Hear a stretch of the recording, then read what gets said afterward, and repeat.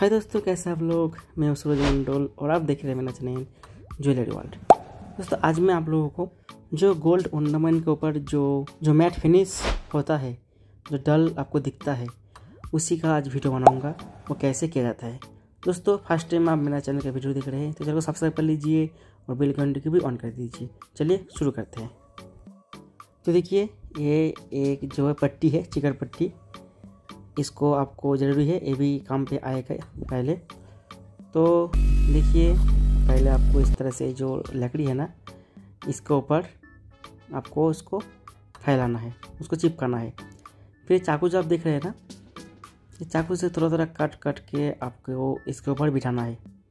मतलब जहाँ पे डल नहीं होगा, जहाँ पे मैट फिनिश नहीं होगा, जहाँ पे डिज़ाइन को चेंज नहीं करना है, उसके ऊपर ये लगाया जाता है। जहाँ पे मीना है क्योंकि मीना के ऊपर अगर डल मारेंगे तो वो ख़राब हो जाएगा। अभी डल क्या है, वो आपको तो देखने को मिलेगा। देखिए, पहले तो इस तरह से इसको छोटा छोटा टुकड़ों में, टुकड़ों से ढका जाता है। जिसमें वो डल नहीं होगा, उसको इस तरह से ढका जाता है। देखिए, इस तरह से आपको ढकने के बाद, देखिए, दो बांगड़ी एक साथ लगाया है। ये देखिए, दो बांगड़ी को एक साथ लगाया गया है। अभी इसको एक साथ आप लगा सकते हैं, या सिंगल सिंगल सिंगल भी रख सकते हैं। लेकिन एक साथ लगाए तो अच्छा है।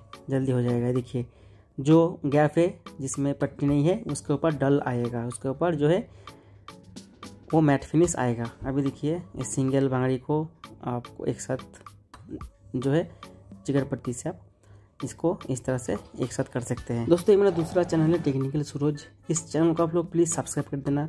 इसका लिंक आपको नीचे डिस्क्रिप्शन में मिल जाएगा।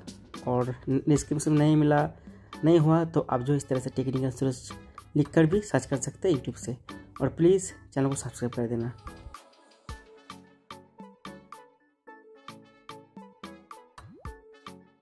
अभी देखिए, यहाँ से मैसिन शुरू होता है। अभी जो है डल मशीन जो होता है ना, ये देखिए मैट फिनिश इससे किया जाता है।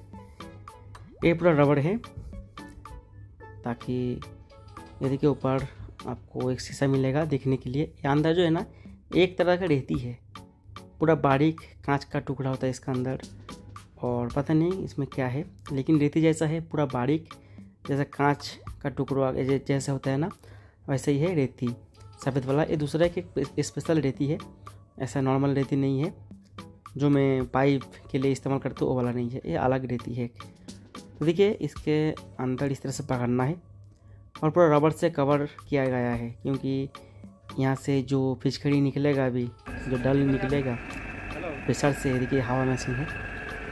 ये पूरा सेटअप किया जाता है सिर्फ़ एक डॉल मारने के लिए। देखिए देखिए दोस्तों, यहाँ पे प्रेशर मापने के लिए एक मीटर भी है। और अभी हवा भरना बाकी है, इसीलिए थोड़ा टाइम चल रहा है मशीन इससे हवा का प्रेशर बनता है, देखिए प्यार से इसको गियर जैसे इसको दबाना पड़ता है। एक बार दबाएँगे, ऊपर से, जो आपको मैंने अभी दिखाया था ना देखिए। यहाँ से वो रेती देखिए ज़ोर से निकलेगा देखिए ये देखिए यहाँ से निकलता हुआ रेती और जो बांगड़िया भी दिखाया था ना जिसके ऊपर पट्टी लगा हुआ है टेप लगा हुआ है और जो प्लेन है जिसके ऊपर टेप नहीं है ये उसके ऊपर एक डिज़ाइन छोड़ता है। बारीक बारीक खड्डा जैसा हो जाता है बन जाता है प्रेशर से।